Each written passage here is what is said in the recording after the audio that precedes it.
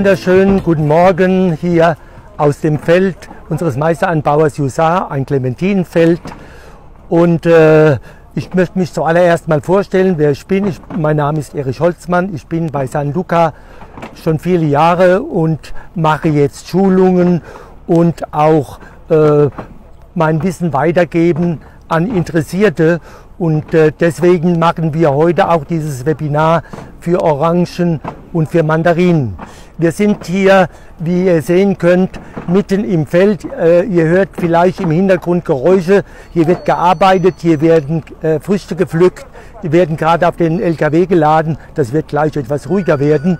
Aber wie ihr seht, mitten in einem Feld von Clementinen. Aber wir werden nicht nur über Clementinen reden, sondern generell Orangen und Mandarinen, Clementinen, da der Anbau und die Pflege und das Händeln alles ähnlich ist. Egal, ob das Mandarinen oder Clement, ob das Mandarinen oder Orangen sind.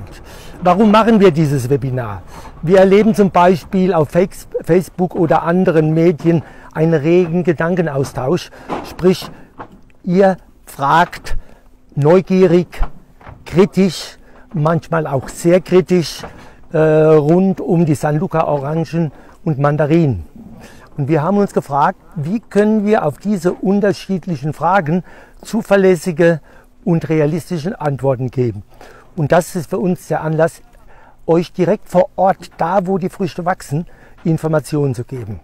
Und ich bin sicher, dass ihr mit diesen Informationen ein besseres Verständnis für Orangen und Mandarinen bekommt. Ich möchte mal mit allgemeinen Informationen beginnen. Und zwar, Obst und Gemüse sind Naturprodukte. Und wenn es im Freilandanbau wächst, dann auch zu den Gesetzen der Natur. Wer mit Obst und Gemüse arbeitet, hat immer einen starken Partner, der ihm hilft, beste Qualitäten zu produzieren, aber genauso gut im wahrsten Sinne des Wortes Bedeutung die Ernte verhageln kann. Ich rede von der Natur, der Sonne, dem Regen, dem Wind, der Hitze und der Kälte. Alles beeinflusst die Qualität und Haltbarkeit der Früchte. Wer mit der Natur arbeitet, kann keine hundertprozentige Garantie geben. Es wird einmal nochmal nachgefragt, wo das hier jetzt stattfindet. Wir, wir sind hier in der, in der Provinz Castellón von der Comunidad Valencia, also vom Bundesland Valencia, auf einem Feld, ich habe es glaube ich schon erwähnt, von unserem Meisteranbauer Jusa. Genau, und die nächste Frage wäre dann von der Clara. Was gibt es Wissenswertes über den Anbau von Zitrusbäumen? Ja, das kann ich euch sehr gut sagen. Wir stehen ja hier mitten im Feld und anhand der Bäume kann ich euch das sehr gut erklären. Äh, die jungen Bäume, die gepflanzt werden, kommen von der Baumschule, die die Bäume so präpariert, dass sie ungefähr in einer Höhe von 50, 60 Zentimeter gepflanzt werden können.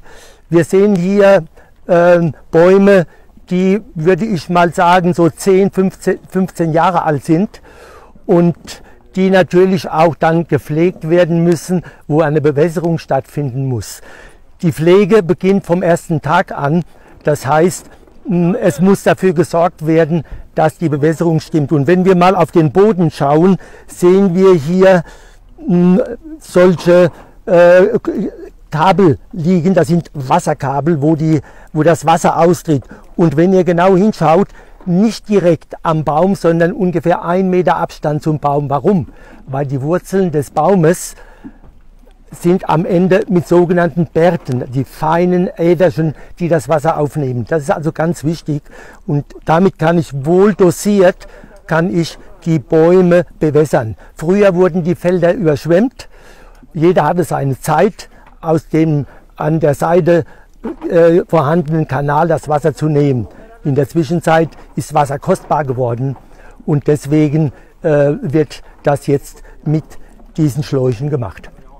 Ja, es gibt schon wieder ein paar weitere Fragen. Die Diana fragt einmal, wo ist der Ursprung der Orangen und Mandarinen?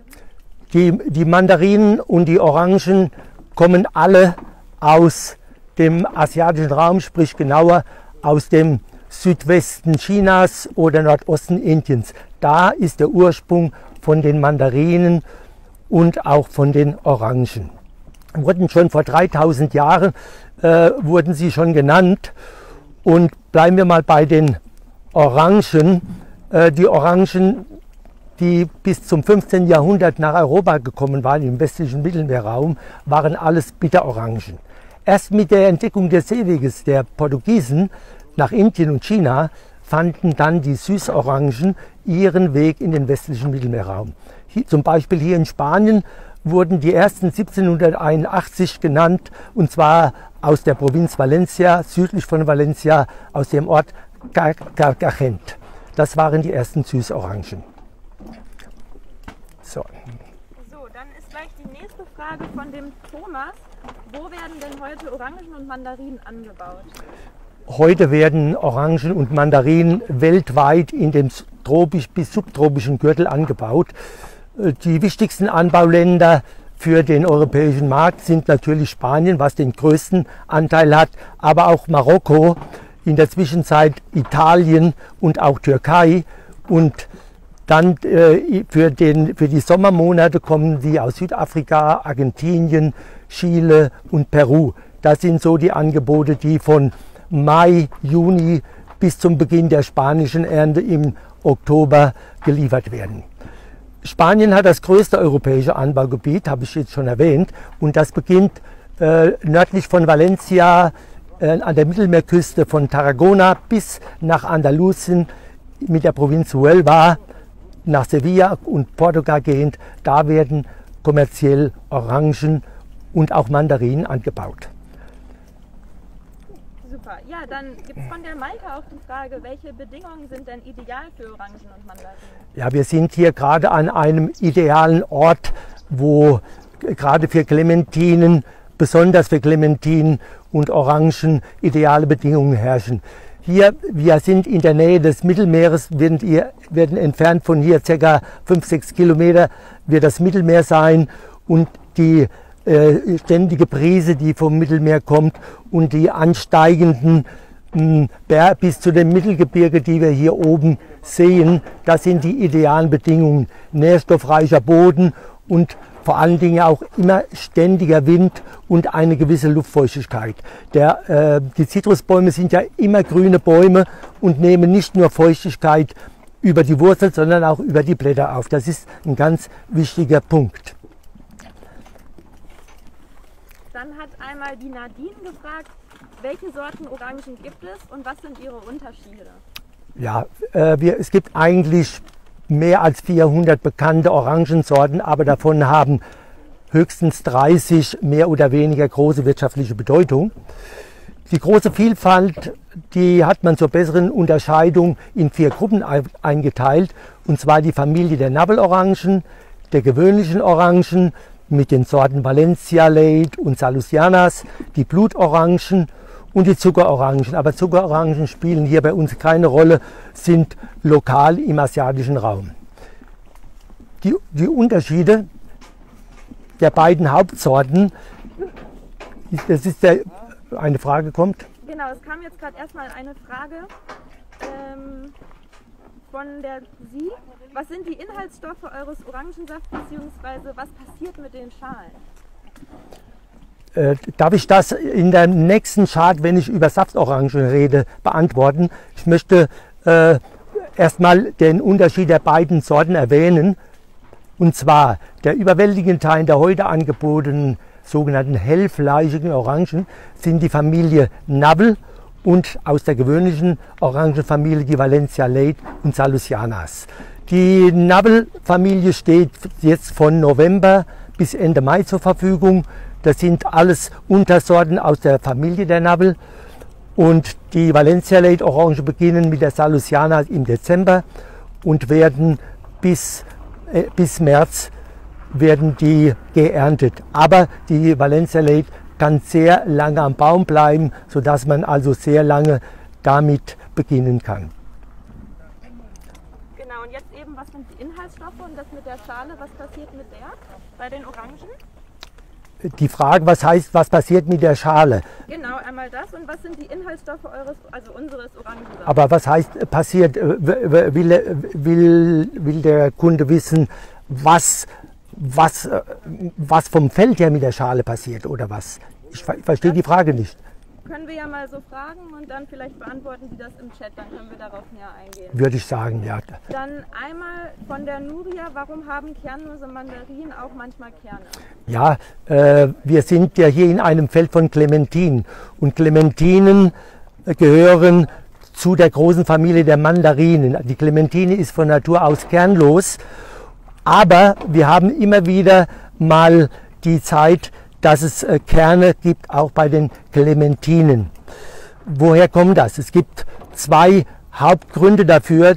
Den ersten Grund, den hat man eliminiert. Man hatte festgestellt, wenn man zwei unterschiedliche Sorten aus der Familie der Clementinen zu nah aneinander anpflanzt, kann es während der Blüte durch Wind oder Insekten zu Kreuzbestäubungen kommen, was wiederum dann provoziert hat, dass es einen Rückfall in die Urmutter Mandarinen mit den Kernen gibt. Das hat man eliminiert, indem man die Sorten unterschiedlich weit voneinander angebaut hat. Der zweite Grund ist, es gibt aber trotzdem immer wieder Mandarinen oder nicht Clementinen, die Kerne haben. Da gibt es eigentlich nur eine vernünftige Erklärung. Es ist ein Rückfall der Natur in die, in, in die Gene der Kerne. Das ist der Grund. Und was sind dann, welche, welche Sorten gibt es von Mandarinen und Clementinen? Das fragt der José. Wir sind die, die Sorte, was hier aus Spanien kommt, so ab Mitte Oktober bis Ende, äh, Ende Dezember, vielleicht noch ein, zwei Wochen bis in Januar rein, das hängt immer von, vom Wetter und von der Nachfrage ab, sind alles Clementinen, also kernlose Mandarinen. Sie stammen alle von einer, von einer Sorte der Clementina ab, wo dann ähm, Mutationen stattgefunden haben. Und das Beispiel kann ich euch sagen, diese Sorte hier heißt Clemenules. Warum? Weil die 1953 in einem Feld von dem Ort Nules hier, der hier auf der linken Seite liegt, äh, gefunden wurde und die Eigenschaften, Eigenschaften hatte, die etwas anders waren als die Mutter Fina. Die Clemenulis ist zurzeit die am meisten angebaute Hauptsorte von November bis, wie gesagt, Weihnachten. Die Heike fragt einmal, wie lange dauert es von der Blüte bis zur erntereifen Mandarine? Wir haben ja Frühsorten von den Clementinen, die schon Anfang Oktober geerntet werden. Die Blüte ist ungefähr im April, also rechnet man mal aus, Mai, Juni, Juli, August, September, Oktober sind das sechs Monate die früheste. Die Clemenulis ist drei, vier Wochen später. Das sind die von den Clementinen. Das sind die Sorten der